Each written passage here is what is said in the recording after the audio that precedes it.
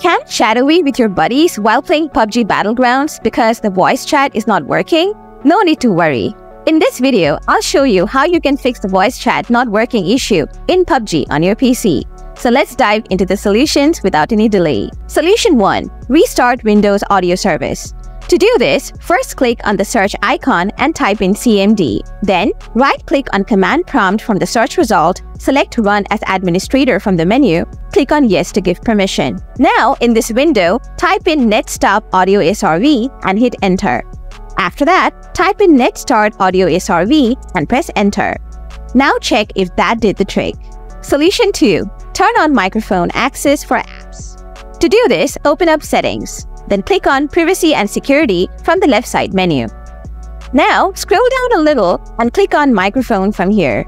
Then toggle on Microphone Access from here. Also, turn on Let App Access your microphone if it's turned off. Now, check if the issue is fixed. Solution 3. Change in game settings. To do this, open PUBG Battlegrounds on your PC. Then, go to Settings. After that, click on Audio from the top bar. Then switch to the Voice Chat tab.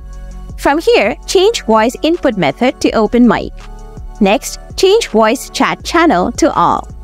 After that, increase microphone volume and voice chat volume to 100 and check if that helped with the issue or not. Solution 4. Update your microphone driver. You can either update it from Windows Update or Device Manager. To update your microphone driver from Windows Update, open Settings. Then click on Windows Update and click on Check for Update.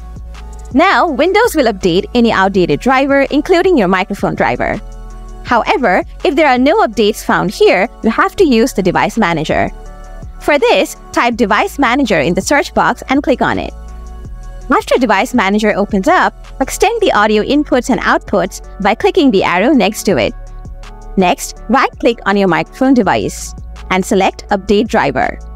Then click on Search automatically for driver. Now, Device Manager will update your audio driver. After this, reboot your computer, and your mic should start working. So guys, that's how you fix voice chat not working issue in PUBG Battlegrounds on your PC. If the video helps you solve the issue, smash that like button. Got any questions? Just drop them in the comments below and I'll get back to you real soon. Thanks for tuning in.